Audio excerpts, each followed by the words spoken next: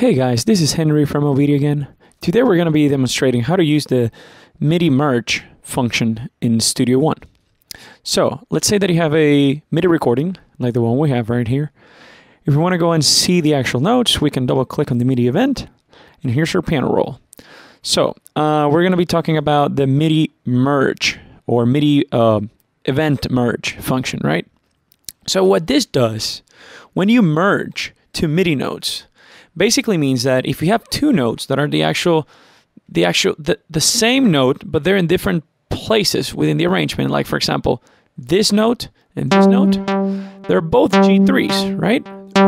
They're both g3s but one happens first and then you have a second a third a fourth note and then the fifth note that the player played was another g3 so uh, the the MIDI merge function you can apply between those two notes, right? Two notes that are the same note but that are that are not together. That's that's basically what you need in order to be able to do this. So, uh, if you want to merge these two, first of all, you have to click and drag so that both notes are highlighted.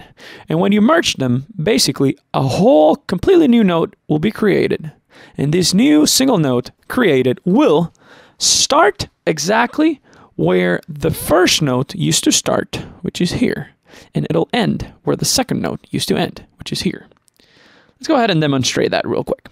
So now that they're both selected, we can right click, go to musical functions, and then merge events. Boom, there it is. So a whole new note, a completely new note has been created, and this new note replaced the old two notes. Now this new note starts where the old note used to start, the I guess the old first note used to start, and it'll end where the old second note used to, used to end. They've been merged. Uh, let's go ahead and listen to this.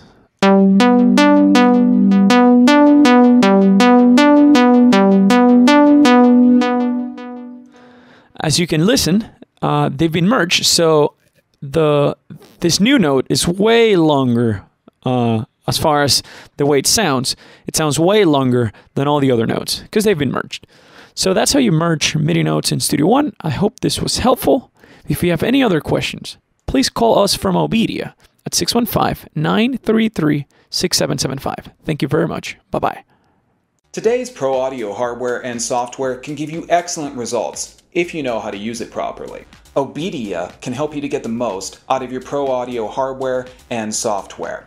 Why spend your time scouring the internet for answers or digging through manuals? With one quick call to an Obedia technician, you'll be connected with someone who can give you the answers that you need in real time via phone and remote desktop. Obedia technicians are trained in all major digital audio applications on Mac, PC, iOS, and Android devices.